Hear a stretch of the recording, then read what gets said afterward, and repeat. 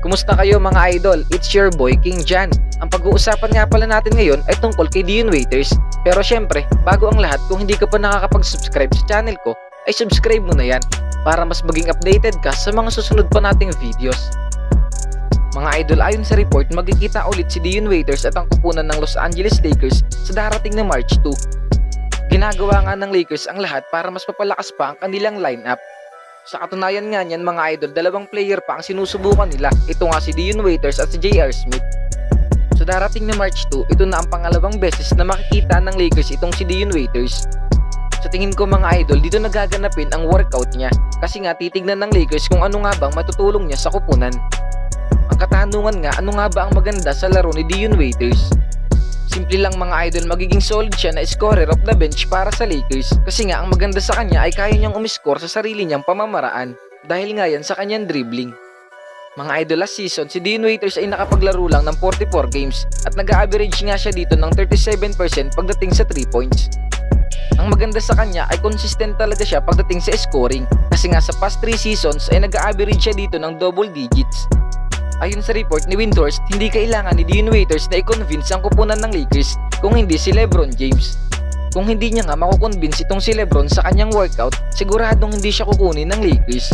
Pero mga idol, abangan na lang natin sa darating na March 2 kung ano nga ba talaga ang mangyayari dito kay Dean Waiters. Pag-usapan na rin pala natin dito ang pagpaparindig ni J.R. Smith sa NBA at ganun na rin sa kupunan ng Lakers. Mga idol noong nasa flight nga itong si Smith ay sinabi niyang bored siya kaya naman naisipan niya dito magpatanong sa mga followers niya.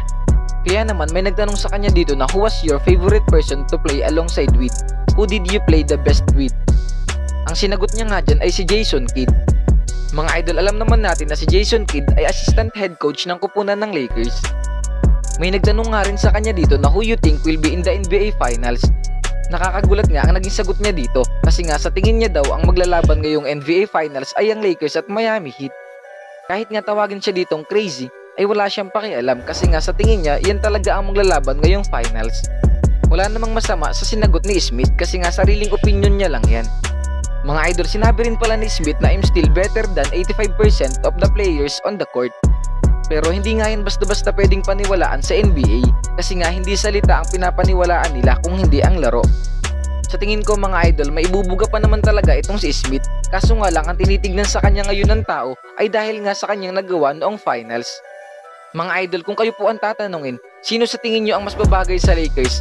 Si J.R. Smith ba o si Dion Waiters? Mag-comment ka lang sa ibaba ng sarili mong opinion.